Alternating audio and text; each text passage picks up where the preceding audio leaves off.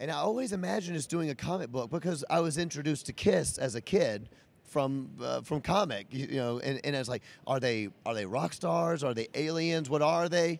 And it kind of created that whole uh, music is larger than life thing that I Alice Cooper and and even Rob Zombie and, and things like that. So I always imagined us doing it, but y- you can't do a crappy comic book because then it's just embarrassing. So when I got called about doing it, I was like, man, I've had some stories. I would love to talk about doing a book. Not so much superheroes, but more in the science fiction realm.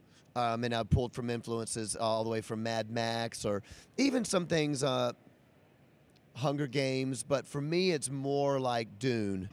Um, you know, the Dune series books, which are some, some of my favorite books I've ever read. Or even like Do Androids Dream of Electric Sheep, which is Philip K. Dick. that's Word. right. He, he's got some weird stuff. I love his sto- his short stories are amazing, uh, and that's what Blade Runner was based on. If people know the movie Blade Runner, which is one of my favorite movies, so um, I, I drew on a lot of those kind of things for this post-apocalyptic world.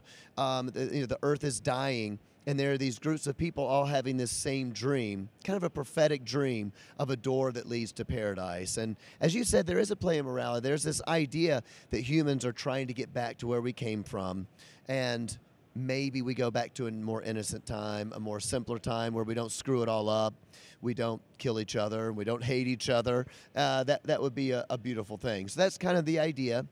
To me, all great science fiction has religious undertones to it. You know, uh, whether it's even The Matrix, uh, Dune, as we talked about. Um, even I don't know 1984. There's there's these religious ideas. Blade Runner, uh, the Philip Dick stuff, all has that crazy philosophy, uh, and I, I just love that about science fiction.